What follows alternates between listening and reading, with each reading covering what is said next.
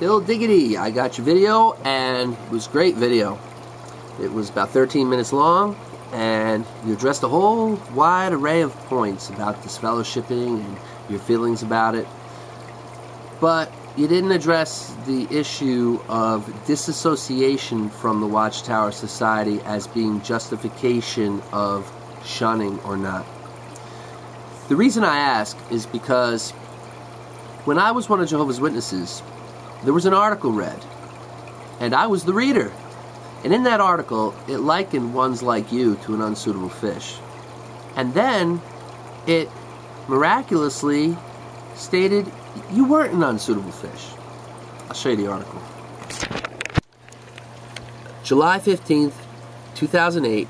You do not know where it will have success. Watchtower Magazine.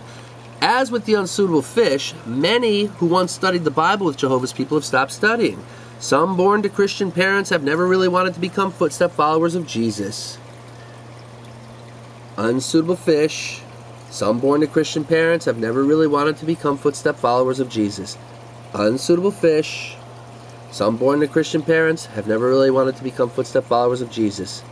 You were just likened to an unsuitable fish, Hillary, but then, when you click the footnote right there, beep, does that does this mean that everyone who has stopped studying or associating with Jehovah's people has been thrown away as unsuitable by the angels? No. If someone sincerely desires to return to Jehovah, he will find the way open. In this case, returning to Jehovah means playing the Watchtower game. So, I had to read that from the platform, and I felt that that was cognitive dissonance in its full blown form, and that it's damaging to ones like your mother who read that and they feel deep in their heart pain that their daughter's an unsuitable fish, and then they're comforted. No, she can still come back. She still has a chance. And I decided I wasn't going to play this game anymore. That was the straw that broke the camel's back. After I'd been educated on logical fallacies, thanks to a tip from Tim Kilgore to examine logical fallacies, I knew this was cognitive dissonance. I recognized it for what it is, and it's done intentionally in the Watchtower Society. So what I did was I called the elders that night and I told them I will not be reading any more publications from the platform. I will not be banging on doors bringing people into this religion, and I certainly will not sit under these teachings anymore because I feel it's propaganda and that it's damaging to people. And they told me, well, then you're disassociating, you're shunning yourself, you're going to, you're dis, disfellowshipping yourself, and will be shunned. And I said, well, I guess that's fine. But now, Hillary, if that was you, and you're disassociating because you do not agree with the Watchtower teachings, and you will no longer go along with this, and you verbally tell people, is that justification for you to be shunned by your family and friends? Is that normal in a religion? Do Protestant religions do this? Shun their family members who say, I don't want to be a part of this religion anymore?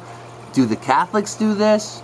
Well, you quoted a bunch of things showing, well, they don't really practice excommunication, but I'm addressing disfellowshipping for leaving the religion.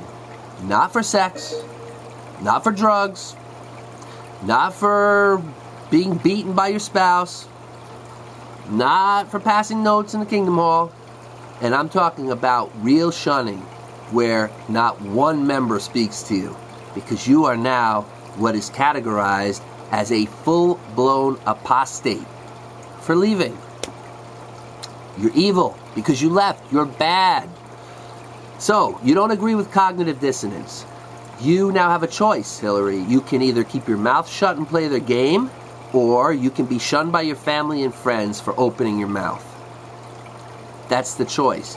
You see, not everybody comes from the background you came from.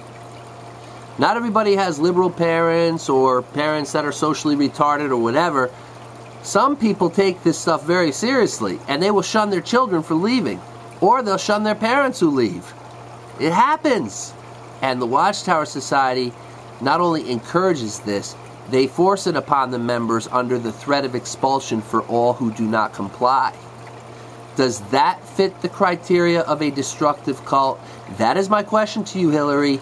Does disassociation from the Watchtower Society justify shunning? And if you're raised in it, do you have a choice? Ciao.